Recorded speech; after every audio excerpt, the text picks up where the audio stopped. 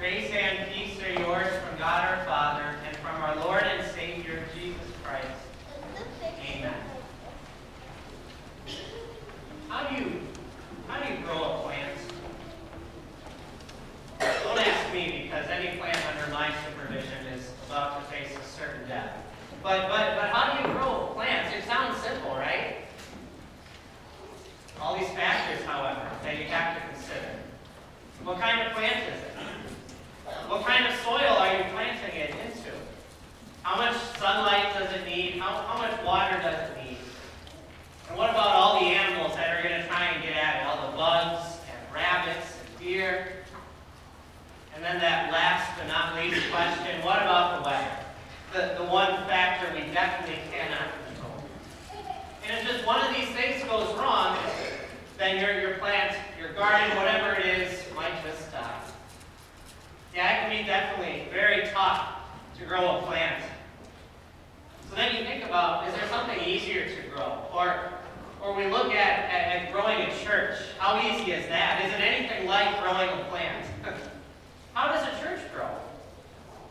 And not just growing in terms of number and size and more people who belong to our church, but, but growing into strength and quality of faith and hope and love, all those fruits that the Spirit gives.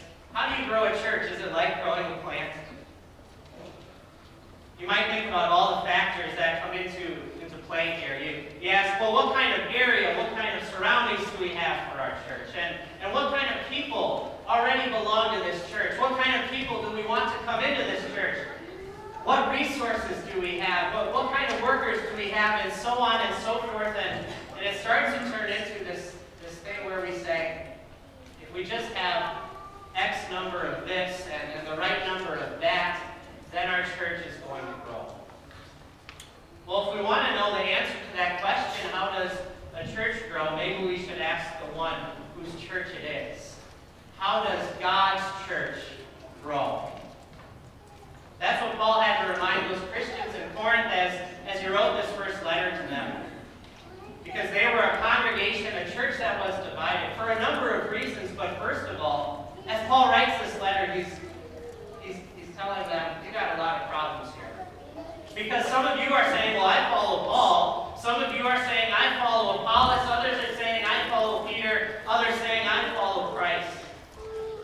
They're picking and choosing which pastor they prefer.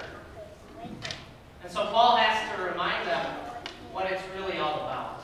How God's church grows. So he hammers it home. He's already written to them saying, you know, I want to talk to you like spiritually mature Christian adults, but you're acting like children, jealously fighting with each other. And it's almost as if, he says, it's almost as if you're unbelievers. So here Paul says, what after all is Apollos? And what is Paul? Only servants. Yes, these pastors that some were holding up as, as superstar pastors in the church, Paul says, no, we are really nothing. We are, are servants who would wait on your tables and wash your feet. And who knows exactly why some people wanted to follow Paul. Maybe it's because Paul was the first pastor they had. The pastor who founded that congregation brought them to the faith. But then why did some follow the next pastor, Apollos? Well, we know Paul's, we don't know for sure, but maybe, as Paul says, he wasn't always the greatest public speaker. But maybe Apollos was better, so people said, I'm going to follow this good preacher. And yet the point is, it doesn't matter what the differences were. Paul didn't care because God doesn't care. Because Paul was saying, it doesn't matter when it comes to growing a church, it doesn't matter who the sermon is, only the Savior matters. Paul says, I planted the seed, I founded this church. Apollos watered it, he continued the ministry, but God made it grow. So neither he who plants nor he who waters is anything, but only God who makes things grow. So it's obvious, isn't it? Just like you wouldn't throw a plant into the ground and then never water it and expect it to grow up healthy. And just like you wouldn't stand over a random spot of the earth and dump water on it and expect a plant to grow up without putting a seed in there first. So we should never give all or even really any of the glory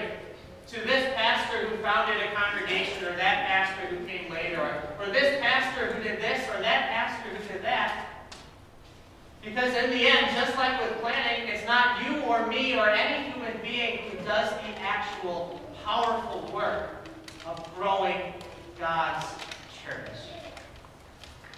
So you want a simple answer to that question? How does a church grow? How do you grow a church? Well, you and I don't. God does the growing by his almighty power and wisdom and mercy. So we want this church of God right here and every church out there to understand that. Whenever we're asking ourselves, well, how is our church, how is any church going to grow? Again, not just a matter of numbers, who's in and who's out, but the strength of our faith. Only God will grow that faith. But then there's the other issue. How has God chosen to grow his church? Just like God doesn't snap his fingers and then all of a sudden, bam, you got a garden in your backyard, as nice as that would be. So God doesn't snap his fingers and then, how there's faith in your heart, or, or bam, there's a church here in Rapid City. No, what God does is he sends his servants to bring his word so that faith can take root and grow in the hearts and lives of his people. doesn't that show just how special and important each and every one of you is to God? That he made sure to send his servant to you so that when you were brought to a baptismal font, there he was, the servant God had called and chosen to speak God's word and pour that water on you and bring you into God's loving family. And God didn't just stop there. He kept sending you pastors to bring you the Word of God and His sacraments so that you would know Jesus did it all to save you from your sins. When you and I, we could do nothing to save ourselves, there was God sending His called and chosen servant to bring you that life-saving word of the gospel.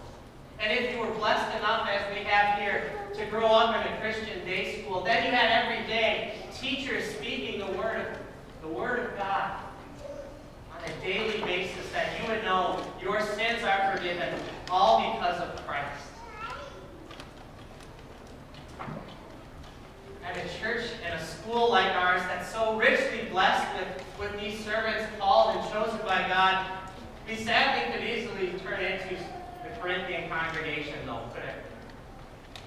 When we start comparing this pastor and that pastor, that teacher with, with this teacher, or we start saying, I'm only going to work and cooperate with this pastor or, or that teacher, or we say, just this pastor would do that like this pastor, and if that teacher would do that like this, this teacher, then we would really be blessed. Then we would really grow as a congregation.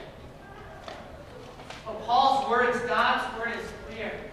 It's only God who will make and make his church grow and thrive and flourish by his grace. So why even bother going down that path of, of sin by comparing and, and making distinctions when in the end the servants are nothing and it is God who has done it all? Like this. How many of you know the name of the first pastor who ever served St. Paul's Lutheran Church? There's a nice display outside, so you can find the answer if you didn't know it already. I'll tell you though. And, and someone please correct me and forgive me if I get these names wrong. Pastor Albert Eberhard came from Sturgis in 1940 to, to do exploratory mission work here. And then a few years later, Pastor Wayne Tenbrook was installed as the first pastor of St. Paul's Lutheran Church. How many of you know who the first teacher was here at St. Paul's? Miss Beverly Heine, I don't know for sure. Uh, her name is now changed, but, but she was installed here in 1969 as the first teacher of St. Paul's. I didn't know most of this until this week when I looked it up, and I'm guessing many of you didn't know that either, but that's kind of the point, isn't it? Doesn't matter what their name was, who they were, what they were like, because it was always the same God working through each and every servant he has called and chosen. All the way back to that first church of Adam and Eve, down to Paul and the Corinthians, down to this very day, our current pastors and teacher and our newest teacher, Miss Fisher, who's being installed this morning. Always, it has been, is now, and will be one and the same beautiful, amazing, wonderful God who gives us His grace. And yet we can't just ignore the names of the past. Or the names of the present or those who will come.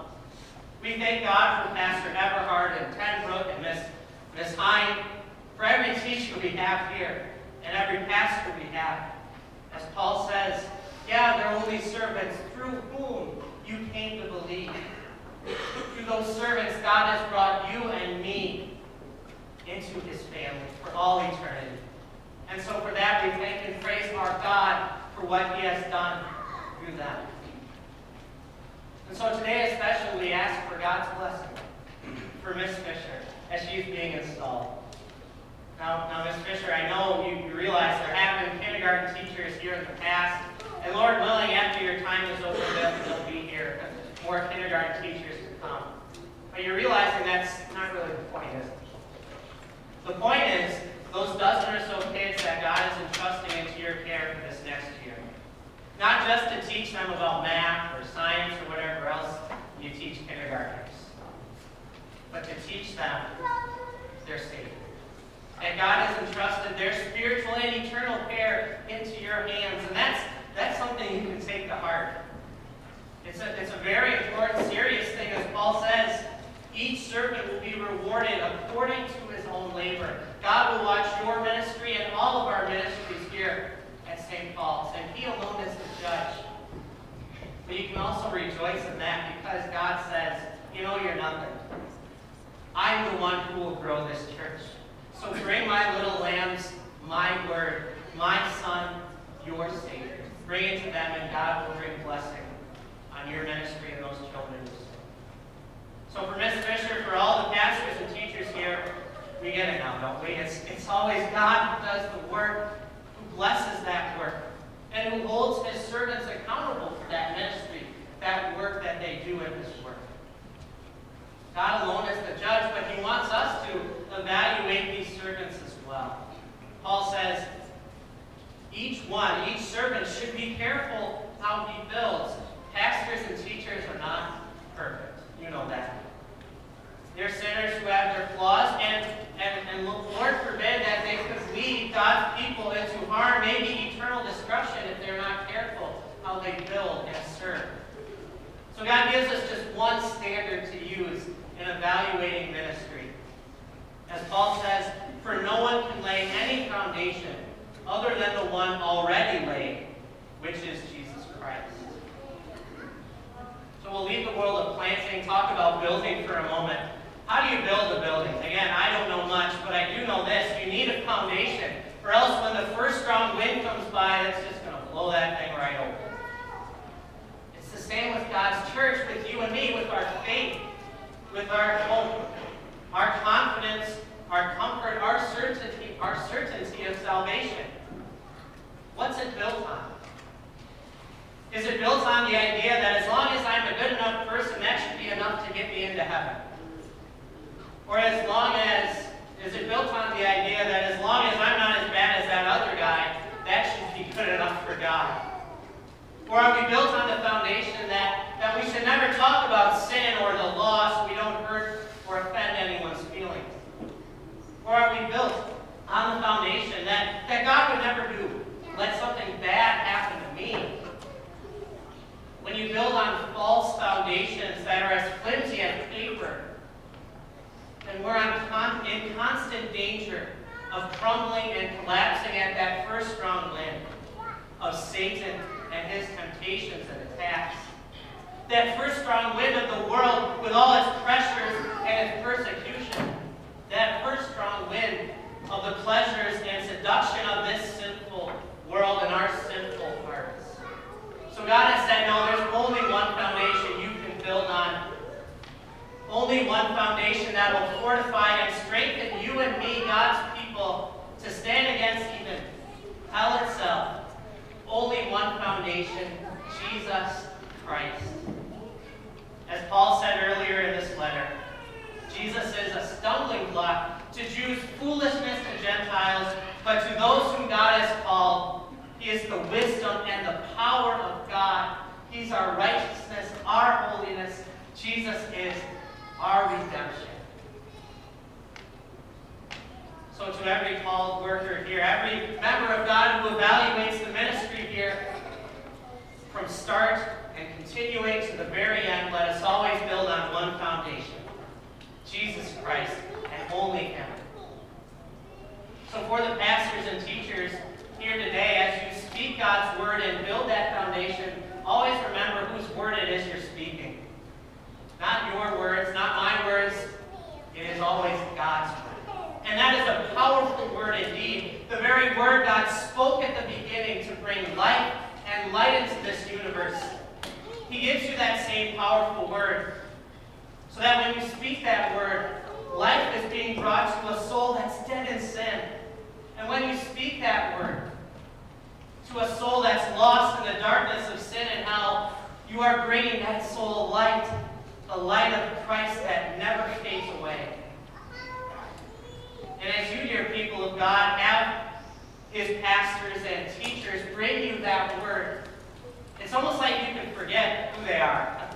Forget what they look like, what they talk like, what they act like, because when they speak the word of Christ, then it is in reality Christ himself who stands before who speaks his word to you, who rebukes you for your sin, who gives you the comfort of forgiveness for your troubled conscience. It is Jesus himself who gives you his word that embraces you, both shielding you from this dangerous, evil, sinful world around you and holding you in this loving embrace now and forever. So, dear servants of God, always speak only that word of Christ and speak it with all reverence and joy. Dear people of God, when they speak that word to you, accept only the word of Christ and receive it, submit to it in all reverence with all joy. As Paul says at the end of, of chapter 3, 1 Corinthians, all right, enough about boasting about men. All things are yours. Whether Paul or Apollos or Cephas, that's Peter, or the world, or life, or death, or the present, or the future, all are yours. And you are of Christ, and Christ is of God, Paul says. So you look at our church in the past as it is now, and as we pray it will be. How has it grown? How is this church growing? How will it always grow? You know. Only by God's power and grace. But God only chooses to through the servants he sends you and me that bring his life-giving, life-saving work. Yes, these servants are nothing, but through that God gives you everything. The world, life, death, the present, the future, and most of all, always above all else, he gives you his son. He gives you himself. God gives you his word that never fails. So all glory and thanks and praise be to this God through Jesus Christ, Amen. now and forever.